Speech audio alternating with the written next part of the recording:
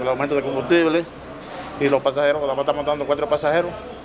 Todo ha subido y nosotros tenemos ya muchos años cargando pasajeros a 25 pesos y no podemos compensar los gastos del vehículo porque no podemos llenar la guagua en el momento que aparece. Los combustibles están demasiado caros, entonces nosotros tenemos eh, el derecho de montar eh, el- los suficientes pasajeros, entonces no te- eh, hemos tenido la, la obligación de, de- del aumento. Tú sabes que ya tenemos problemas con los aumentos de la, de la comida, los combustibles, la escasez de pasajeros.